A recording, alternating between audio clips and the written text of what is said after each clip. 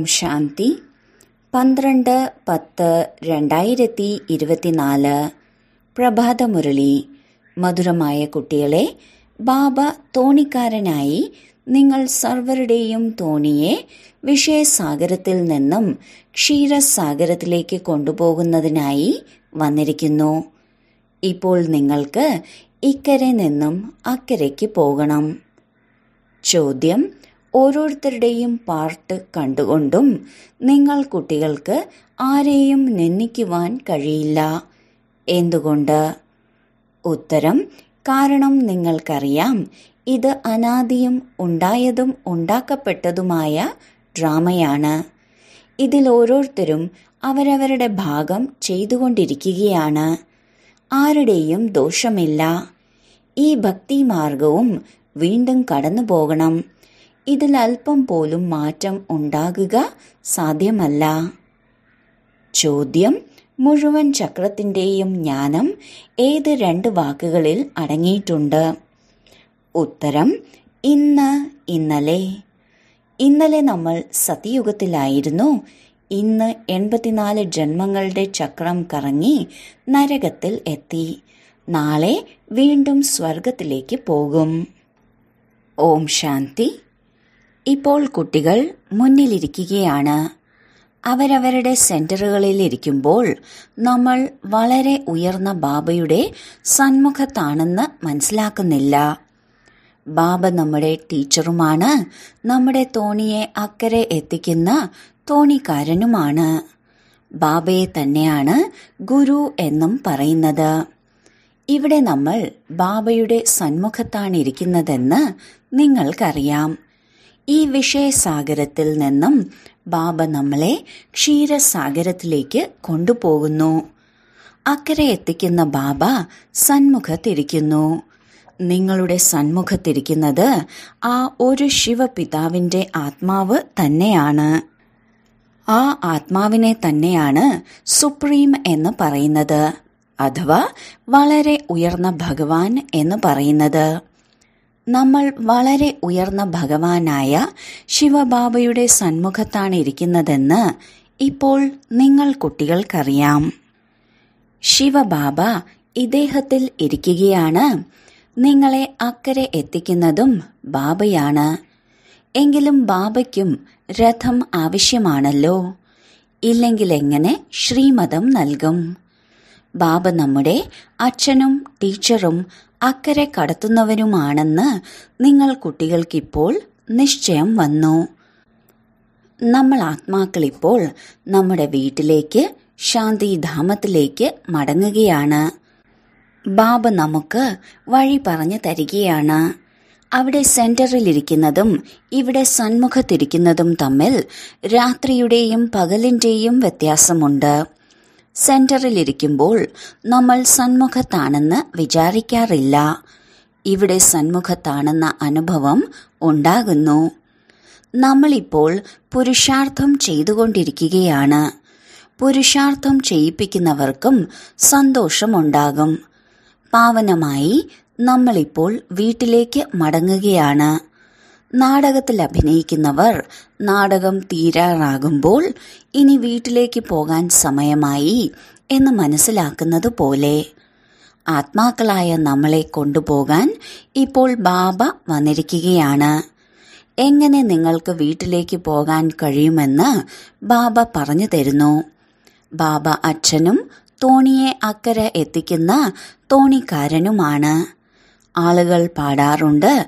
പക്ഷെ തോണിക്കാരൻ എന്നാരെയാണ് പറയുന്നത്? ഇതാരും മനസ്സിലാക്കുന്നില്ല. തോണിക്കാരൻ ശരീരത്തെ കൊണ്ടുപോകുമോ? നമ്മൾ ആത്മാക്കളെയാണ് അക്കരെ കൊണ്ടുപോകുന്നത് എന്ന് നിങ്ങൾ കുട്ടികൾക്കിപ്പോൾ അറിയാം. ആത്മാവിപ്പോൾ ഈ ശരീരത്തിനോടൊപ്പം വിഷയവൈതരണി നദിയിൽ മുങ്ങിക്കിടക്കുകയാണ്. നമ്മൾ യഥാർത്ഥത്തിൽ ശാന്തിധാമ നിവാസികളായിരുന്നു അക്കരെ എത്തിക്കുന്ന വീട്ടിലെത്തിക്കുന്ന ബാബയെ നമുക്കിപ്പോൾ കിട്ടിയിരിക്കുകയാണ്. നിങ്ങളുടേതായിരുന്ന രാജധാനി പൂർണമായും മായാരാവണൻ തട്ടിയെടുത്തു. തീർച്ചയായും ആ രാജധാനി തിരിച്ചു പിടിക്കണം പരിധിയില്ലാത്ത ബാബ പറയുന്നു കുട്ടികളെ തന്റെ വീടിനെ ഇപ്പോൾ ഓർമ്മിക്കൂ. വീട്ടിലേക്ക് പോയി പിന്നീട് ക്ഷീരസാഗരത്തിലേക്ക് വരണം.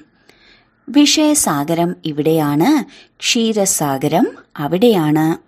മൂലവതനമാണ് ശാന്തിയുടെ സാഗരം. മൂന്ന് ധാമങ്ങളാണ് ഉള്ളത്. ഈ ലോകം ദുഃഖധാമമാണ്.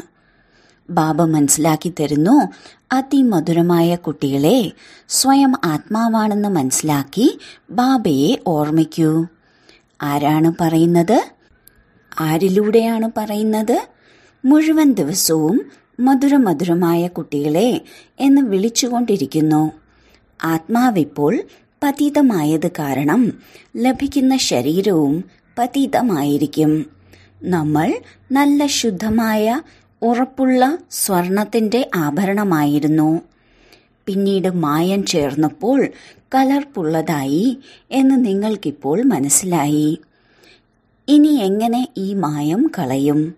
അതിനാണ് ഓർമ്മയുടെ യാത്രയാകുന്ന ചൂള. സ്വർണം അഗ്നിയിലിടുമ്പോൾ ഉറപ്പുള്ളതാകില്ലേ?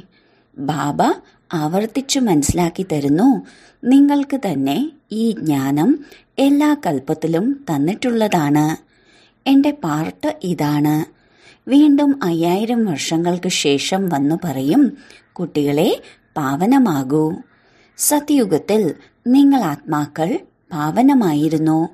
ശാന്തിധാമത്തിലും പാവനാത്മാക്കളാണ് വസിക്കുന്നത്. ശാന്തിധാമമാണ് നമ്മുടെ വീട്. എത്ര മധുരമായ വീടാണ്.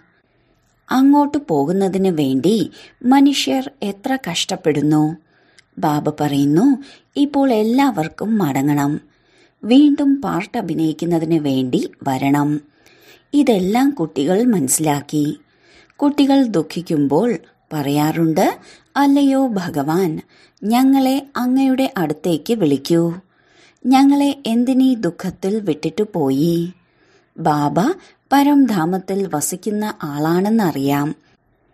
അതുകൊണ്ടാണ് പറയുന്നത് ഭഗവാനെ ഞങ്ങളെ കൂടെ പരംധാമത്തിലേക്ക് വിളിക്കണേ എന്ന്. സത്യുഗത്തിൽ ഇങ്ങനെയൊന്നും പറയില്ല. അവിടെയാണെങ്കിൽ പരമസുഖമാണ്. ഇവിടെ അനേകം ദുഃഖമുണ്ട്. അതുകൊണ്ടാണ് വിളിക്കുന്നത് ഭഗവാനെ ആത്മാവിന് ഭഗവാനെ ഓർമ്മ വരുന്നു. എന്നാൽ ഭഗവാനെ അല്പം പോലും മനസ്സിലാക്കുന്നില്ല. നിങ്ങൾ കുട്ടികൾക്കിപ്പോൾ ബാബയുടെ പരിചയം ലഭിച്ചു. പരംധാമത്തിൽ തന്നെയാണ് ബാബ വസിക്കുന്നത്. വീടിനെയാണ് ഓർമ്മിക്കുന്നത്. രാജധാനിയിലേക്ക് കൊണ്ടുപോകൂ എന്നൊരിക്കലും പറയുന്നില്ല. രാജധാനിക്ക് വേണ്ടി വിളിക്കില്ല. ബാബയാണെങ്കിൽ രാജധാനിയിൽ വസിക്കുന്നുമില്ല. ബാബ ശാന്തിധാമത്തിൽ തന്നെയാണ് ഉള്ളത്. എല്ലാവരും ശാന്തിയാണ് യാചിക്കുന്നത്. പരംധാമത്തിൽ ഭഗവാന്റെ അടുക്കൽ തീർച്ചയായും ശാന്തിയുണ്ടാകും. അതിനെയാണ് മുക്തിധാമം എന്ന് വിളിക്കുന്നത്. മുക്തിധാമം ആത്മാക്കൾക്ക് വസിക്കുന്നതിനുള്ള സ്ഥാനമാണ്. അവിടെ നിന്നാണ് ആത്മാക്കൾ വരുന്നത്. സത്യുഗത്തെ വീടെന്ന് വിളിക്കില്ല. സത്യുഗം രാജധാനിയാണ്. നിങ്ങൾ ഏതെല്ലാം സ്ഥലങ്ങളിൽ നിന്നും വന്നവരാണ്? ഇവിടെ സന്മുഖത്ത് വന്നിരിക്കുന്നു. കുട്ടികളെ കുട്ടികളെ എന്ന് വിളിച്ചാണ് ബാബ സംസാരിക്കുന്നത്. അച്ഛനായി മാറി കുട്ടികളെ കുട്ടികളെ എന്ന് വിളിക്കുന്നു. ടീച്ചറായി സൃഷ്ടിയുടെ ആദിമധ്യ അന്ത്യത്തിന്റെ രഹസ്യം അഥവാ ഹിസ്റ്ററിയും ജോഗ്രഫിയും മനസ്സിലാക്കി തരുന്നു. ഒരു ശാസ്ത്രത്തിലും ഈ കാര്യങ്ങളില്ല. മൂലവതനമാണ് ആത്മാക്കളുടെ വീടെന്ന് നിങ്ങൾ കുട്ടികൾക്കറിയാം. സൂക്ഷ്മവതനമാകട്ടെ ദിവ്യദൃഷ്ടി ഉപയോഗിച്ച് കാണേണ്ടതാണ്. സത്യയുഗം ത്രേതായുഗം ദ്വാപരയുഗം കലിയുഗം ഇതെല്ലാം ഇവിടെയാണ് ഉള്ളത്. നിങ്ങൾ പാർട്ട് അഭിനയിക്കുന്നതും ഇവിടെയാണ്. സൂക്ഷ്മവതനത്തിൽ ആരുടെയും പാർട്ടില്ല. സൂക്ഷ്മവതനത്തിൽ സാക്ഷാത്കാരമാണ് ഉള്ളത്. ഇന്നലെ ഇന്ന് ഈ ശബ്ദങ്ങൾ നല്ലപോലെ ബുദ്ധിയിൽ ഉണ്ടായിരിക്കണം. ഇന്നലെ നമ്മൾ സത്യയുഗത്തിലായിരുന്നു എൺപത്തിനാല് ജന്മമെടുത്ത് ഇന്ന് നരകത്തിൽ എത്തി. നരകത്തിലിരുന്നാണ് ബാബയെ വിളിക്കുന്നത്. സത്യയുഗത്തിൽ അപാര സുഖമാണ്. അവിടെ ആരും ബാബയെ വിളിക്കുന്നതേയില്ല. നിങ്ങൾ ആത്മാവ് ശരീരത്തിനുള്ളിലാണ്. ബാബ പറയുന്നു ഞാൻ എല്ലാം അറിയുന്നവനാണ്. അർത്ഥം സൃഷ്ടിയുടെ ആദിമധ്യ അന്ത്യത്തെ അറിയുന്നു. എന്നാൽ ഇതെല്ലാം എങ്ങനെ കേൾപ്പിക്കും? ചിന്തിക്കേണ്ട കാര്യമാണിത്. അതുകൊണ്ടാണ് എഴുതി വച്ചിരിക്കുന്നത് ബാബ രഥം സ്വീകരിക്കുന്നുവെന്ന് ബാബ പറയുന്നു എന്റെ ജന്മം നിങ്ങളെപ്പോലെയല്ല. ഞാൻ ഇദ്ദേഹത്തിൽ പ്രവേശിക്കുന്നു. രഥത്തിനെയും പരിചയപ്പെടുത്തുന്നു. ഈ ആത്മാവും നാമരൂപം ധാരണ ചെയ്ത് അവസാനം തമോ പ്രധാനമായി. ഈ സമയത്ത് സർവരും അനാഥരാണ്. കാരണം ബാബയെ അറിയുന്നില്ല. സർവരും അനാഥ ബാലകന്മാരും ബാലികമാരും ആയിരിക്കുന്നു. അനാഥ ബാലൻ ബാലിക എന്ന് ആത്മാവിനെയാണ് പറയുന്നത്. ലൗകിക അച്ഛൻ ചോദിക്കുന്ന പോലെ പരിധിയില്ലാത്ത അച്ഛനും ചോദിക്കുന്നു ബാലിക ബാലന്മാരെ നിങ്ങൾക്കെന്ത് പറ്റി? നാഥനായി ആരുമില്ലേ? നിങ്ങളെ സ്വർഗത്തിന്റെ അധികാരിയാക്കി മാറ്റിയ പരിധിയില്ലാത്ത ബാബയെ നിങ്ങൾ പകുതി കൽപ്പമായി വിളിച്ചുകൊണ്ടിരിക്കുന്നു. ആ ബാബയെക്കുറിച്ചാണ് നിങ്ങൾ പറയുന്നത് കല്ലിലും മുള്ളിലും ഉണ്ടെന്ന്. സന്മുഖത്തിരുന്ന് ഇപ്പോൾ ബാബ മനസ്സിലാക്കി തരുന്നു. നമ്മൾ ബാബയുടെ അടുക്കലാണ് വന്നിരിക്കുന്നതെന്ന് നിങ്ങൾ കുട്ടികൾക്കറിയാം. ഈ ബാബ തന്നെയാണ് സർവരെയും പഠിപ്പിക്കുന്നത്. നമ്മുടെ തോണിയെ അക്കരെ എത്തിക്കുന്നത്. കാരണം ഈ തോണി അതായത് ശരീരം വളരെ പഴകിപ്പോയി. അതിനാലാണ് ഈ തോണിയെ അക്കരെ എത്തിച്ചിട്ട് ഞങ്ങൾക്ക് പുതിയ തോണി തരൂ എന്ന് പറയുന്നത്. പഴയ തോണി അപകടം പിടിച്ചതായിരിക്കും. വഴിയിൽ വെച്ച് പൊളിഞ്ഞു പോയാൽ അപകടം സംഭവിക്കും. അതുകൊണ്ട് ഞങ്ങളുടെ തോണി പഴകിപ്പോയി ഞങ്ങൾക്കിപ്പോൾ പുതിയ തോണി തരൂ എന്ന് പറയുന്നു. ഇതിനെ വസ്ത്രം എന്നും പറയാം തോണി എന്നും പറയാം. നമുക്ക് ലക്ഷ്മി നാരായണന്റേത് പോലുള്ള വസ്ത്രം അതായത് ശരീരം വേണം ബാബ എന്ന് കുട്ടികൾ പറയുന്നു. ബാബ ചോദിക്കുന്നു അതിമധുരമായ കുട്ടികളെ നിങ്ങൾ സ്വർഗവാസിയാകാൻ ആഗ്രഹിക്കുന്നുണ്ടോ?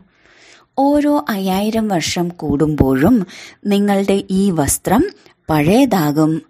വീണ്ടും ഞാൻ വന്ന് പുതിയ വസ്ത്രം തരുന്നു. ആസുരീയ വസ്ത്രമാണിത്. ആത്മാവും ആസുരീയമാണ് ദരിദ്രരായ മനുഷ്യർ പഴകിയ വസ്ത്രമാണ് ധരിക്കുന്നത്. ഈ കാര്യങ്ങളൊക്കെ നിങ്ങൾക്കിപ്പോൾ അറിയാം. ഇവിടെ നമ്മൾ ആരുടെ മുന്നിലാണ് ഇരിക്കുന്നത് എന്ന ലഹരി കുട്ടികൾക്കുണ്ട്. സെന്ററിലിരിക്കുമ്പോൾ നിങ്ങൾക്ക് ഈ അനുഭവം ഉണ്ടാകില്ല. സന്മുഖത്തിരിക്കുമ്പോൾ ബാബ നേരിട്ട് പഠിപ്പിക്കുന്നു എന്ന സന്തോഷം ഉണ്ടാകും. സെന്ററിൽ ആരെങ്കിലും ക്ലാസ് എടുക്കുമ്പോൾ ബുദ്ധിയോഗം അവിടെയും ഇവിടെയും ആയിരിക്കും. തിരക്ക് പിടിച്ച ജോലിയാണ്. എവിടെ സമയം കിട്ടാനാണ് എന്ന് പറയാറില്ലേ? ഞാൻ നിങ്ങൾക്ക് മനസ്സിലാക്കി തരികയാണ്.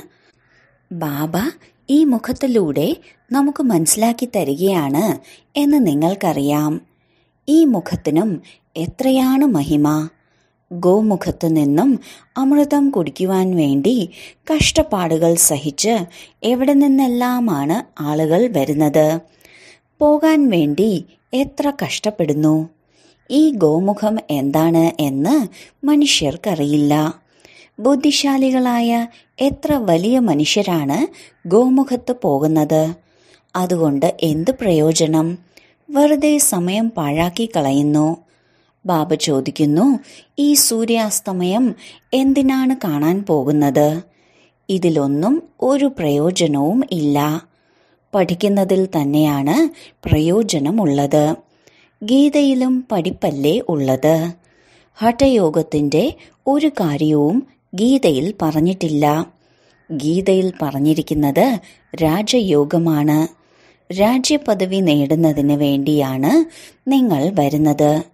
ഈ ആസുരിയ ലോകത്തിൽ എത്രമാത്രം യുദ്ധവും വഴക്കുമാണെന്ന് നിങ്ങൾക്കറിയാം. ബാബ യോഗബലത്തിലൂടെ നമ്മളെ പാവനമാക്കി വിശ്വത്തിന്റെ അധികാരികളാക്കി മാറ്റുന്നു. ദേവിമാരുടെ കയ്യിൽ ആയുധങ്ങൾ കാണിച്ചിരിക്കുന്നു. വാസ്തവത്തിൽ ഇവിടെ ആയുധങ്ങൾ ഉപയോഗിക്കേണ്ട ആവശ്യമേ ഇല്ല. കാളിയെ എത്ര ഭയാനകമായാണ് കാണിച്ചിരിക്കുന്നത്. ഇതെല്ലാം അവരവരുടെ മനസ്സിന്റെ തോന്നലുകൾക്കനുസരിച്ച് തയ്യാറാക്കിയിരിക്കുകയാണ്. നാലും എട്ടും കൈകളുള്ള ദേവിമാരില്ല. ഇതൊക്കെ ഭക്തിമാർഗമാണ്. ബാബ മനസ്സിലാക്കി തരുന്നു ഇതൊരു പരിധിയില്ലാത്ത നാടകമാണ്. ഇതിൽ ആരെയും കുറ്റപ്പെടുത്തുവാൻ കഴിയില്ല. അനാദിയായി തയ്യാറാക്കി വച്ചിരിക്കുന്ന നാടകമാണ്. ഇതിൽ മാറ്റം വരുത്തുവാൻ ആർക്കും സാധിക്കില്ല. ജ്ഞാനം എന്താണ്? ഭക്തി എന്താണ്? ഇതെല്ലാം ബാബ മനസ്സിലാക്കി തരുന്നു. വീണ്ടും നിങ്ങൾക്ക് ഭക്തി മാർഗത്തിലൂടെ കടന്നു പോകേണ്ടി വരും. ഇതേപോലെ തന്നെ വീണ്ടും നിങ്ങൾ എൺപത്തിനാല് ജന്മങ്ങൾ എടുത്ത് അധപ്പതിക്കും ഈ അനാദിയായി തയ്യാറാക്കി വച്ചിരിക്കുന്ന നാടകത്തെക്കുറിച്ച് ബാബ മനസ്സിലാക്കി തരുന്നു. ഈ ഡ്രാമയുടെ രഹസ്യം മനസ്സിലാക്കുന്നതിലൂടെ നിങ്ങൾ വിശ്വത്തിന്റെ അധികാരിയായി മാറുന്നു. അത്ഭുതം തന്നെയല്ലേ? ഭക്തി എങ്ങനെയാണ് നടക്കുന്നത്? ജ്ഞാനം എങ്ങനെയാണ് നടക്കുന്നത്? ഈ നാടകം അനാദിയായി തയ്യാറാക്കി വച്ചിരിക്കുന്നു. ഇതിൽ ഒരൽപ്പം പോലും മാറ്റം വരുത്തുവാൻ ആർക്കും സാധിക്കില്ല. സന്യാസിമാർ പറയുന്നത് ബ്രഹ്മത്തിൽ ലീനമാകും ജ്യോതി ജ്യോതിയിൽ ലയിക്കും സങ്കല്പത്തിന്റെ ലോകമാണിത് എന്നൊക്കെയാണ്.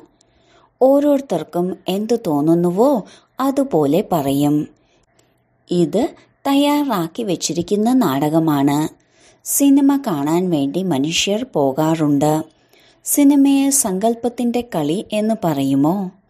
ബാബ പറയുന്നു കുട്ടികളെ ഈ പരിധിയില്ലാത്ത നാടകം ഇതുപോലെ തന്നെ ആവർത്തിക്കും. ഈ ജ്ഞാനം തരുന്നത് ബാബ തന്നെയാണ്.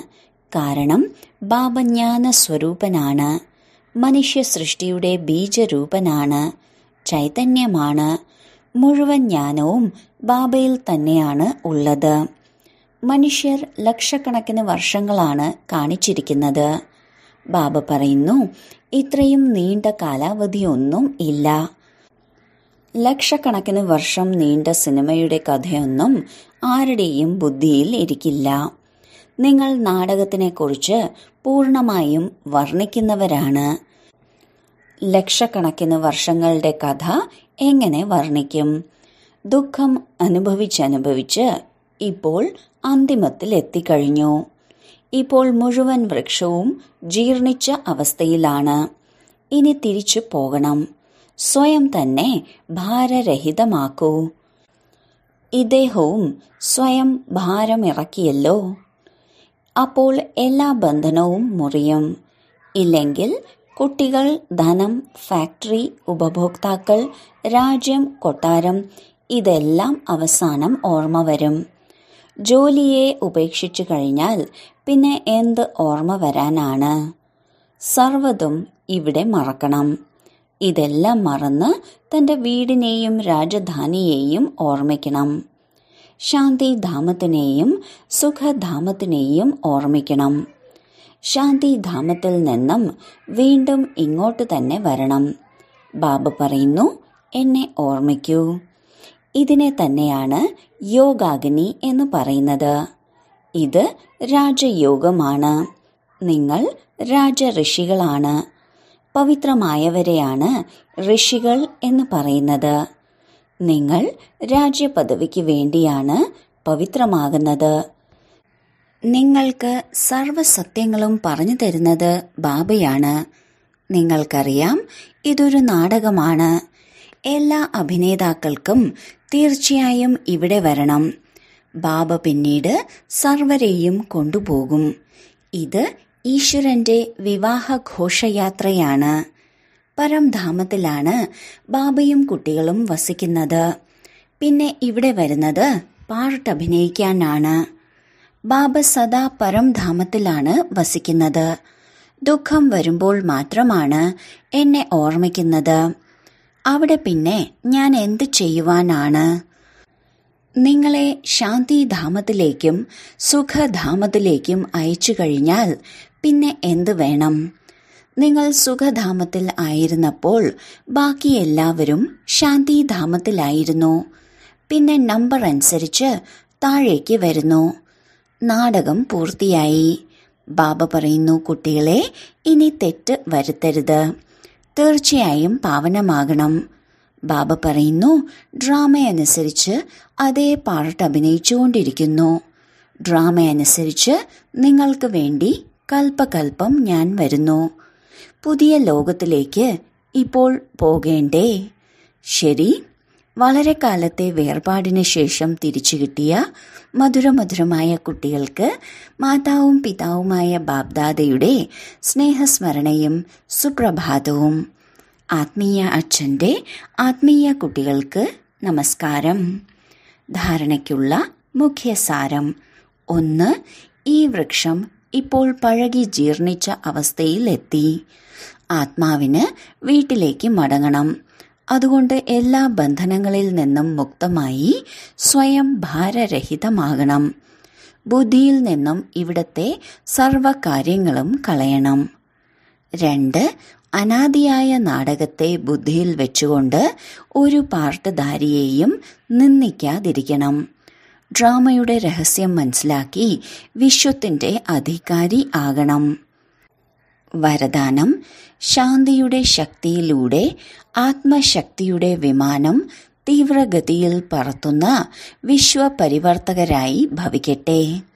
സയൻസിന്റെ സാധനങ്ങളുടെ ഗതി സയൻസിലൂടെ തന്നെ അതിന്റെ വേഗത കുറയ്ക്കാനും കൂട്ടാനും സാധിക്കുന്നു. എന്നാൽ ആത്മാവിന്റെ ഗതി ഇതുവരെ ആർക്കും കണ്ടെത്താൻ സാധിച്ചിട്ടില്ല സാധിക്കുകയുമില്ല. ഈ കാര്യത്തിൽ ശാസ്ത്രം തോൽവി അംഗീകരിച്ചിട്ടുണ്ട്. എവിടെയാണോ സയൻസ് തോറ്റുപോയത് അവിടെ സൈലൻസിന്റെ ശക്തിയിലൂടെ എന്ത് ആഗ്രഹിക്കുന്നുവോ ചെയ്യാൻ സാധിക്കുന്നു. അതിനാൽ ആത്മശക്തിയുടെ വിമാനം തീവ്രഗതിയിൽ പറത്തു. ഈ ശക്തിയിലൂടെ സ്വപരിവർത്തനം മറ്റുള്ളവരുടെ വൃത്തിയുടെ പരിവർത്തനം വായുമണ്ഡലം എന്നിവ പരിവർത്തനപ്പെടുത്തി വിശ്വപരിവർത്തകരാകുവാൻ സാധിക്കുന്നു. തീവ്രതയുടെ അടയാളമാണ് ചിന്തിച്ചു അതുപോലെ സംഭവിച്ചു. സ്ലോഗൻ ശിക്ഷാദാതാവിനോടൊപ്പം ദയാമനസ്കരായി സഹയോഗിയുമാകൂ. ഓം ശാന്തി.